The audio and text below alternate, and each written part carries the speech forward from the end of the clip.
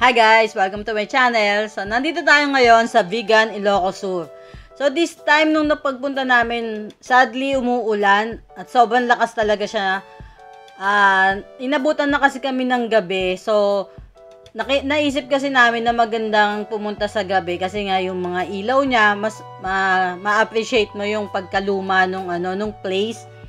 Kasi makikita mo yung mga lighting niya. Ah... Uh, bagay na bagay sa mga lumang bahay. Kaya lang umuulan.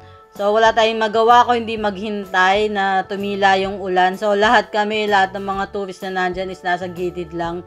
Naghihintay lang ng kailan hihinto ang ulan. Syempre nung huminto yung ulan, so nagutom na kami. So hindi namin pinalampas ang empanada. Anim kaagad ang in-order namin, tiga-tigalawa kami. Sobrang laki ng empanada pero naubos namin. So, eto na yung kinabukasan. Uh, pupunta ulit kami dun sa, ano, sa vegan, ay sa Kali Cresologo.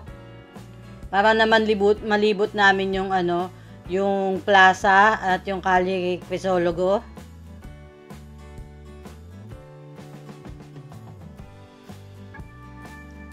So, yung biyahe namin papunta doon sa ano, sa pinaka Heritage Park Uh, medyo wala na siyang ano, wala nang ulan. Kaya makikita nyo naman na ano, na okay na yung daanan. So at that time, walang traffic. Kasi uh, nung time na isang beses kami napunta dyan, ma-traffic kasi ano, ang daming mga tourist.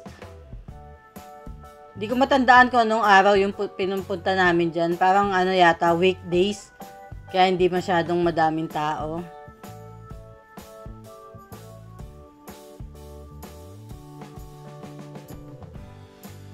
So diyan nga pala sa ano sa plaza, medyo mahirap maghanap ng ano ng parking diyan. Talagang tsempuhan or kaya mag-aantay ka ng aalis para makapag-park ka kagad.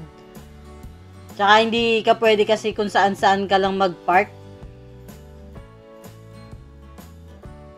So, syempre, inikot muna namin yung park para makahanap kami ng ano ng parking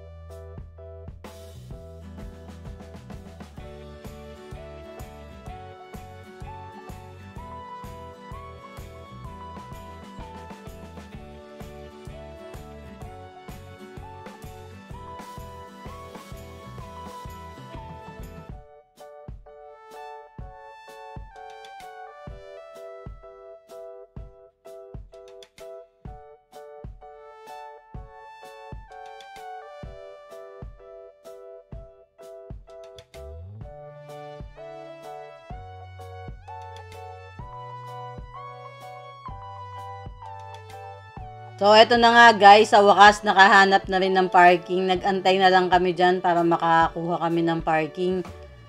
So, inuna na din namin ulit yung ano, uh, puntahan yung plaza.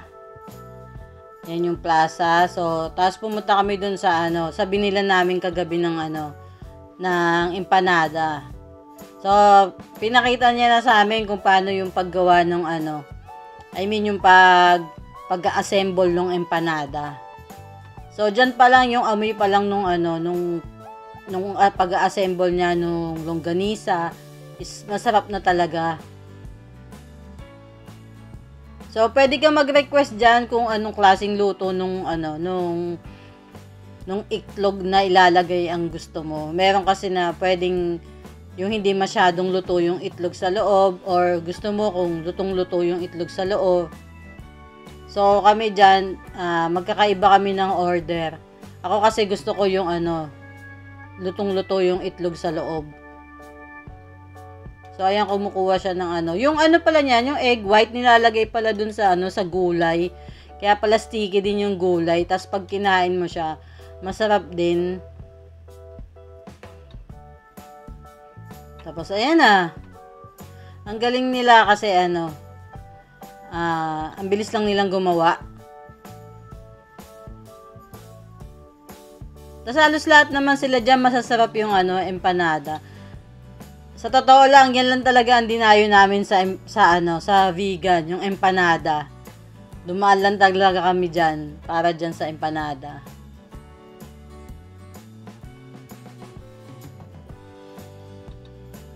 Yan, picture taking naman muna sa ano sa plaza at sa Kali Crisologo.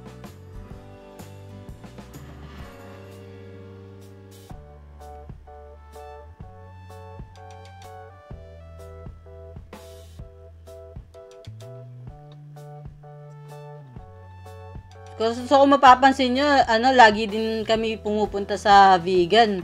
Kasi yung mga nauna kong video, sa vegan din kami punta. Kasi ano, ah, hindi ka talaga magsasawa dyan sa mga lumang bahay, sa pamamasyal dyan.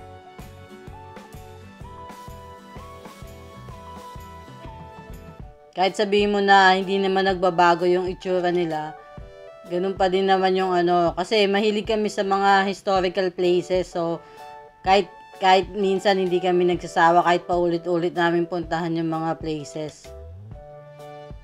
Diyan kasi ano, dumal lang kami diyan para ano, para yun nga sa empanada, tapos makapasyal na rin. Tapos papunta kasi kami dapat ng Abra. So pagkatapos niyan sa vegan, sa Abra na ang punta namin. So check nyo sa susunod na video ko sa ano, yung tour namin sa Abra naman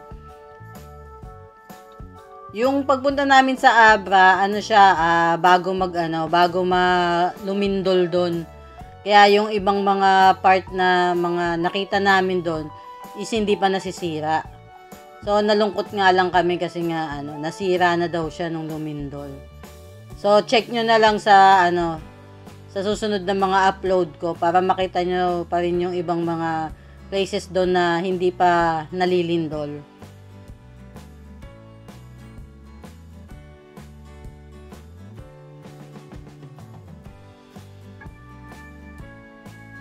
So far naman hindi pa din naman nagbabago yung ano, yung place diyan sa ano, sa Calle Crisologo.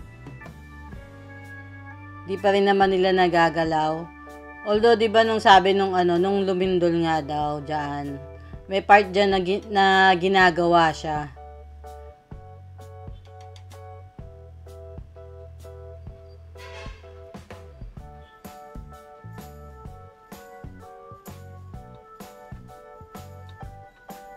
Lakad-lakad lang muna kami. Pasyal-pasyal. Okay naman yung ano, yung trip namin dyan. Kasi mababait din naman yung mga tao. Tapos mababait din yung ano, yung napag-stayan namin. Makita nyo, konti lang yung tao na ano, kahit umaga, ang konti ng mga ano, ng mga tao. So, paano na kami, paalis na kami dyan. Uh, papunta na kami sa Abra.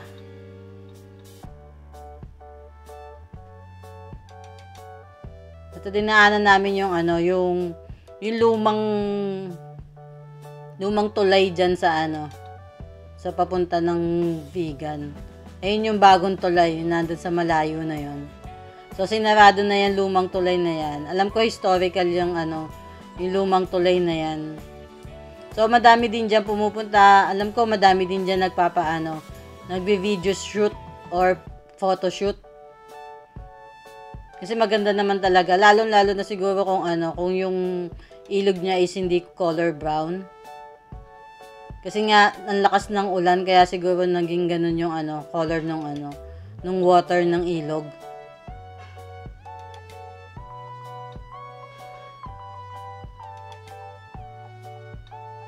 Medyo ano pa din dyan eh, parang uulan pa din eh. Pero, hindi na naman umulan nung bumiyahe kami.